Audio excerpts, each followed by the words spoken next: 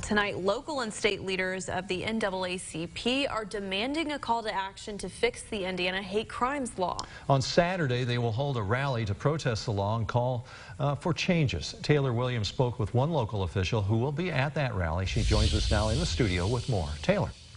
Thanks, Mike and Sadie. Indiana was one of five states without a hate crimes bill until Indiana Governor Eric Holcomb signed it into law last month. However, some say the bill is just not strong enough and it needs to be changed.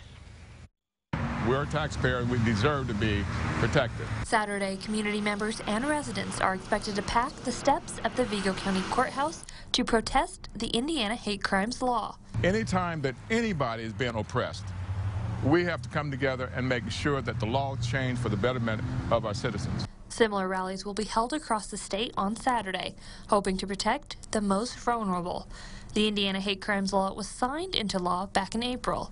The law protects against race, religion, and disability discrimination. However, it fails to list gender identity, gender, sex, and age. Some residents here in the Wabash Valley are noticeably upset. President of the Greater Terre Haute branch of the NAACP, Sylvester Edwards, says the law fails to protect Indiana residents. So they got 92 different ways of looking at things instead of having a bill that is inclusive, which would say the judge or the system or the law shall instead of may make determination whether it's a, a, a, a hate crime. Edwards says that's why the rally is so important and that everyone needs to join together to make the law more inclusive.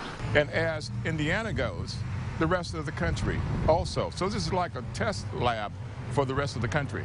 That's wrong from the beginning, it's wrong in the middle, and it's wrong at the end.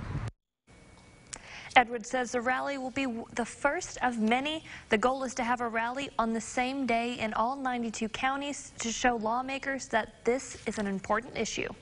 All right, thank you, Taylor, for that information. The rally is this Saturday at noon at the Vigo County Courthouse.